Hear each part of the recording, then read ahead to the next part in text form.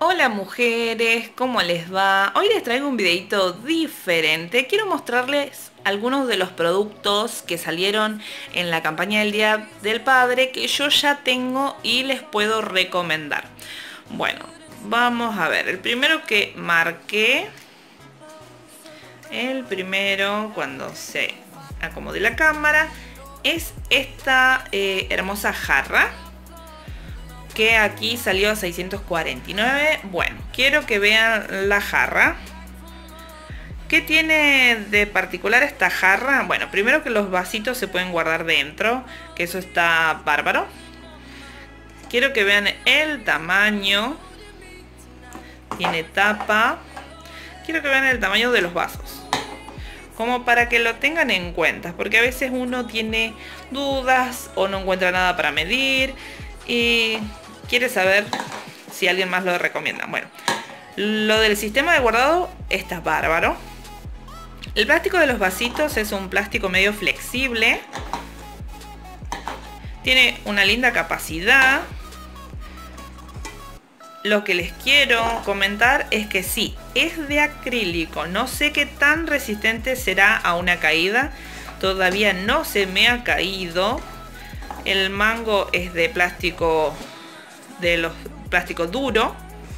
Y el color es muy lindo. Son tonos pasteles. No sé si se podrá ver porque justamente acá no tengo muy buena luz. Sí lo recomiendo por el sistema del guardado, por el color. Sí. En, con tema del tamaño, bueno, acá dice que cada vaso es de 300 de capacidad y la jarra es de un litro y medio. Sí, es de un litro y medio y ahora se los voy a comparar con el folleto como para que tengan una pequeña guía. Bien así comparado al lado del folleto podemos más o menos ver cuánto es su medida. El segundo producto que tengo marcado en el folleto mm, tengo marcado el mini rallador y este tupper porque hay muchas personas que no se dan cuenta cuántos son 650 de capacidad y a veces no tiene dónde eh, tomar como referencia. El mini rayador, como para que lo tengan en cuenta, es un poquito más grande que el de la foto. Tiene exactamente las mismas medidas y este es eh, la versión anterior. Ahí. Como para que lo tengan en cuenta. ¿Sí lo recomiendo? Sí. ¿Tiene un montón de filos? Sí. ¿Es durable? Sí. ¿Se ha caído? Sí. Y es resistente. Bueno. El tapercito, bueno, como para que lo tomen en cuenta, es del ancho de una hoja del folleto.